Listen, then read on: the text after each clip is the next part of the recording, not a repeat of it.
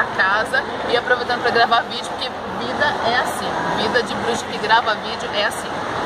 Vocês viram eu e Killian falando sobre tudo que, o, o que é uma vida de um bruxo sem glamour. Não foi, Killian? Sim. E aí o que aconteceu depois, Killian? A gente percebeu que a gente ficou falando. Killian percebeu. Eu não tinha percebido nada, tava achando tudo ótimo. Aí Killian então, percebeu. que a gente falou muitas coisas que a gente não faz.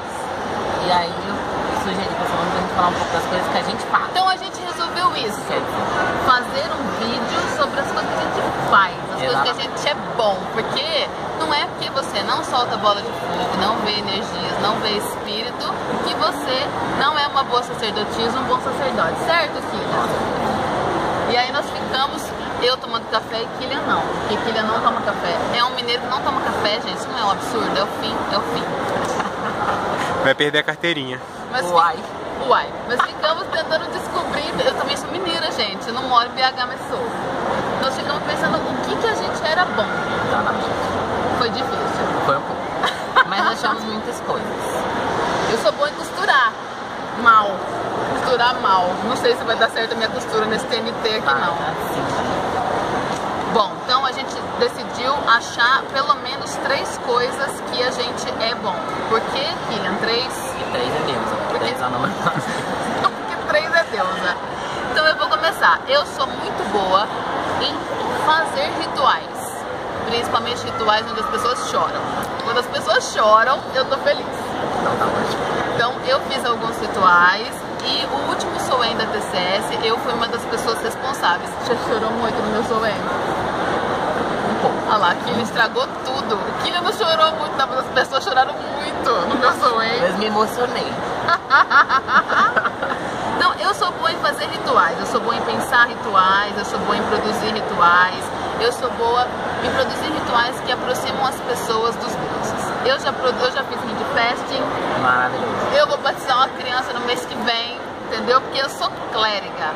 No, no, no- no personagem Wicca, Wicano, personagem Wicano, a minha ficha tem poucos pontos de bruxa e muitos pontos de clériga. então, eu gosto de fazer coisas para a comunidade. Eu sou boa em fazer coisas para a comunidade. Eu converso com as pessoas, as pessoas vêm pedir coisas pra mim, eu faço vídeos no, no canal. É isso, eu sou boa em coisas com a comunidade. É uma das coisas que eu sou boa. Ótimo, é uma coisa muito boa. E você? Conta uma das suas. Eu não sei dar nome pra isso, mas eu tenho uma, uma amiga minha fala que eu tenho uma capacidade boa de traduzir as coisas. Ajudar as pessoas a entenderem aquilo que tá difícil pra elas, aquilo que, que tá complicado, que elas não conseguem juntar muito. Eu tenho a facilidade de ver padrões, então eu consigo juntar bem com as pessoas e ajudar elas a, a sintetizar. Tá difícil.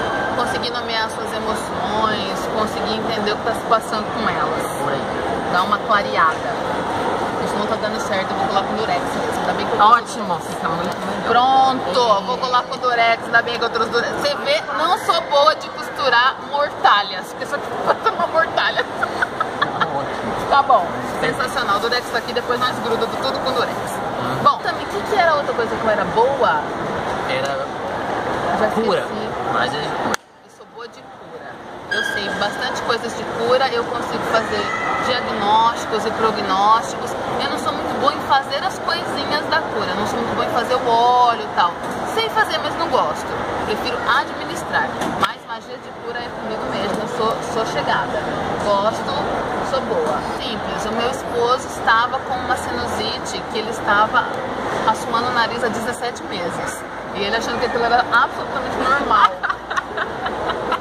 né, assoando aquele nariz há 17 meses. Aí eu falei, isso não é possível, nós vamos resolver isso daí com aromaterapia. Ele falou, você é louca, minha filha, eu tô assoando meu nariz há 17 meses. Bota como cheiro. né?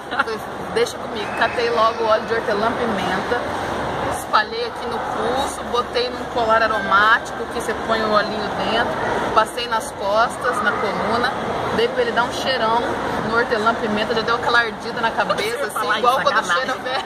Quando o cheiro que evaporou, mas a pessoa ficou. é péssimo? Cedro. Mas cedro é fedorento, o Dói. hortelã-pimenta. Não é cedro. É cipreste, não? É cipreste, então, é cipreste, que é. Junípero. Não, mas é aquele, não é aquele ruim, ele dói. Você dá uma cheiradinha, ele começa a doer, como se alguém estivesse pensando. Cheiro de morte que chama É isso. cheiro de morte. E uma amiga nossa, uma vez, a gente tava com ela, e aí, a gente, sei lá, ela falou, cheira isso daqui, foi legalzinho, mó legalzinho. Ela cheirou junto a anta, esqueceu também. A gente deu assim uma mega fungada, ficou todo mundo parado assim. Dói. Ai, que louca, gente. Que louca. Então, daí fiz isso no meu esposo. E aí eu não tava botando a menor fé. Achou que não de tava. Achou. Em pouquíssimos minutos a pessoa tava respirando Minutos? Minutos. Aí, aí agora cada espirrada que dá, vai lá. Pô, cadê que olhista de aquela pimenta? É, amiga, aqui é a rainha do cheiro, meu filho. Ah, arrasou. É a rainha do cheiro. Então sou boa de magias de cura. Boa. E você? Fala mais um.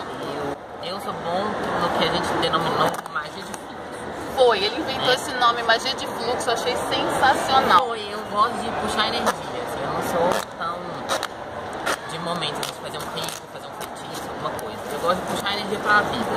Então, sei lá, eu vou trabalhar com runas, por exemplo. Aí eu trago energia da runa pra minha vida e vou viver.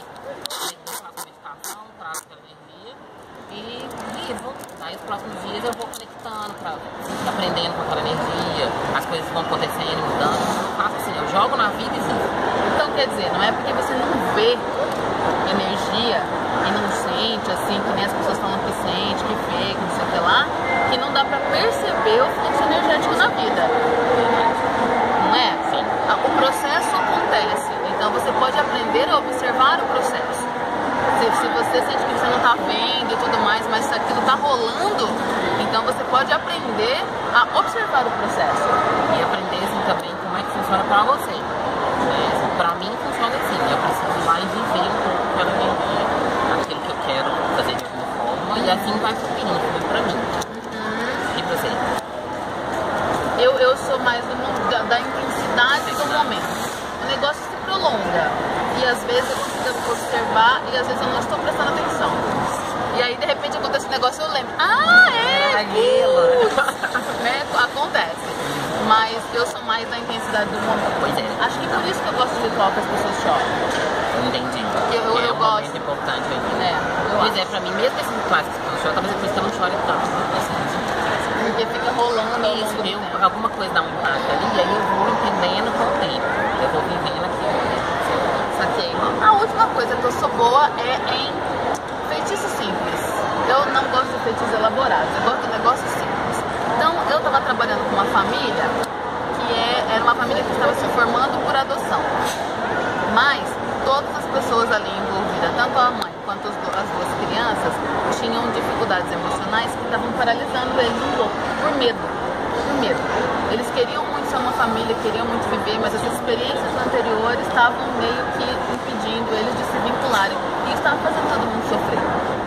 E aí eu fui pra casa pensando que eu precisava fazer um feitiço, era lua cheia, eu já queria aproveitar logo aquela vibe. Quando eu cheguei na minha casa, tudo que eu tinha era três mamãos. Um grande, um grande e dois papainhas. Na hora que eu olhei aqueles bichinhos, falei, aqui, mas olha, É é aqui, o meu você." material. É. E aí o negócio vem assim na minha mente por inteiro, entendeu? Faz download do feitiço, tipo, plup. e aí o que, que eu fiz? Catei lá os mamãos, tracei lá o círculo mágico e fiquei ali pensando, né, raciocinando, pedir pra Deus, da minha divindade de preferência daquele momento, se tem uma divindade de preferência do momento. E aí, o que, que eu fiz? Eu parti uma mão grande pensando, conforme eu partia, mentalizando para que aquilo fosse separando daquela mãe, tudo que estava impedindo ela de se vincular daqueles filhos, os medos dela. Eu sabia nomear muitas coisas e fui fazendo. Separei, peguei os mamãozinhos e fiz a mesma coisa. E aí, fiquei lá com os pedacinhos. E aí eu fiquei pensando que eu precisava fazer de uma forma que eles se vinculassem, mas que não se grudassem de fato. Então eu uni os pedacinhos dos mamões grande, imaginando que aquela mãe, o corpo daquela mãe, o carinho daquela mãe, o contato daquela mãe com aquelas crianças ia, podia ajudar a refazer a personalidade deles ao longo do tempo. Aí eu uni com palitos de dente. Por quê? Porque ficava mais ou menos solto, quer dizer, a individualidade daqueles seres humanos continuava, mas o vínculo estava garantido. Para que aquilo ridículo de simples, para que aquilo desse muito certo e realmente houvesse uma transformação de tudo aquilo e desse frutos, eu plantei e nasceu um mamoeiro. Foi sensacional. Contudo, cuidado, porque se você faz magias assim de plantio se a planta for arrancada ou morrer, pode dar alguma coisa muito errada, depender do seu objetivo. Né? Então você tem que pensar direitinho nessas coisas. Interessante. Bonitinho, não é? Ó, oh, foi É bonitinho. simples, mas é bem pensado o objetivo. É simbólico. É pra, pra mim é isso, magia. Faz sentido. Não é bererecanca tabamba, entendeu? É um show. bererecanca tabamba, é uma coisa tão velha. Eu, eu gosto e tenho certa facilidade pra, assim, Fala alto, você não vai sair. eu não sei o que falar, assim, eu não sei como é que chama isso, canalizar a mensagem. Eu acho né, que chama produzir. ser bardo. Ser bardo. Eu acho que ele é meio bardo. Ele, ele que não sabe. Eu gosto de compor coisas artísticas, certo? textos, músicas. E eu Ele tenho uma... compôs músicas, gente. Compõe música. E o texto, aquele texto maravilhoso de Isis e Osíris. Ai, gente, ficou tão lindo. Eu posso. E. E assim, é um negócio que eu. eu a mesma coisa, eu entro na energia ali, eu trago a energia da divindade e venho alguma coisa.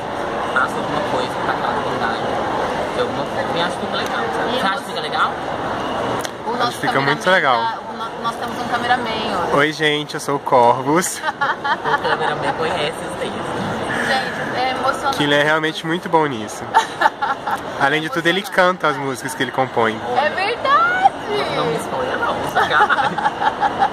Então é isso, acho que era isso que eu queria dizer, que a gente queria dizer porque o Killian percebeu, né? E acho que é isso.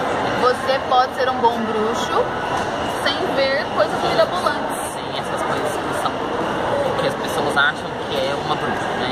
Sobrenatural, Uhum. fantástico.